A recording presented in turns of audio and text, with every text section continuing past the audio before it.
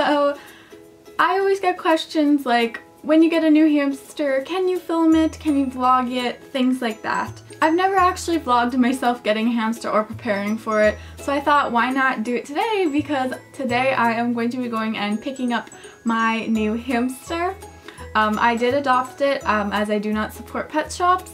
Um, I found an ad on Kijiji, which is a buy and sell website similar to Craigslist, and people can give away their animals if they can no longer care for them or they just don't want them anymore. So I did find someone who had a female Roborovski. I have never had a Robo hamster before. I'm really excited.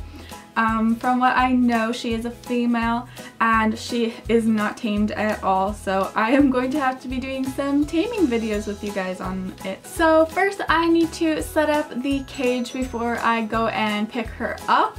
So let's do that.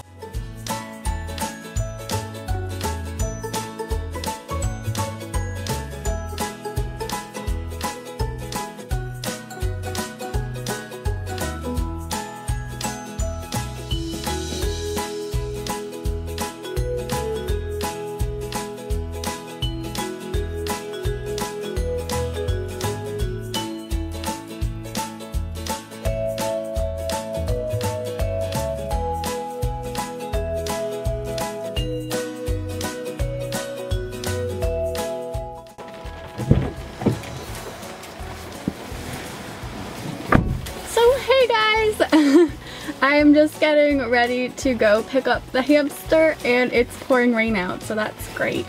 So I am going to go meet up with the girl and get the little robo.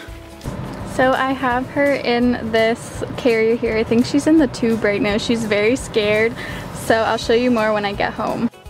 So there she is and I just got home. The lady did give me a bunch of her old stuff. So here's obviously her food mix that she was on. I'll obviously be switching her off of this onto my current diet. She did give me some of these um, freeze-dried blueberry and banana snacks. And then she did give me some of the Critter Care and then Carefresh, which this is Carefresh's um, cheaper brand. If you didn't know, I think they sell this at Walmart. But it's basically just paper-based bedding. And then this one's like a fun colored one. She is very, very skittish and when you stick her finger in, she is very scared um, and very timid. So taming is going to have to be done obviously and I'm going to be taking it very slowly.